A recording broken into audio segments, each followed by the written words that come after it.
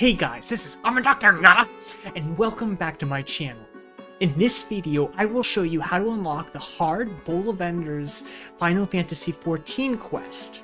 You're gonna need this trial to be able to progress through the main quest. If you need help triggering the unlock, this video will show you what to do.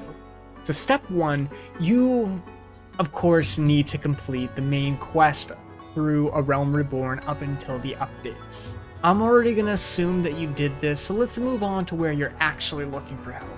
So in order to progress and unlock this, you need to accept a recurring problem.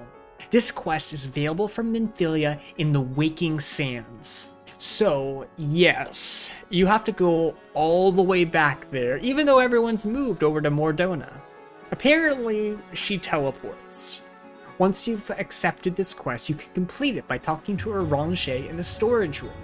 After you complete the quest through Urianger, you can accept the next quest, which is If It Bleeds, We Kill It. That's from Thancred, who's also in the storage room of the Waking Sands.